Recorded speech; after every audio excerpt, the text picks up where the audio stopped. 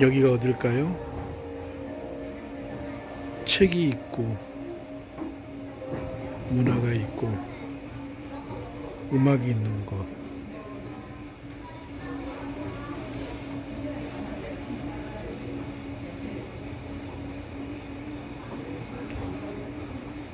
서울 뚝섬 생강마루입니다. 저는 지금 여기서 책을 읽으면서 웰빙을 하고 있습니다.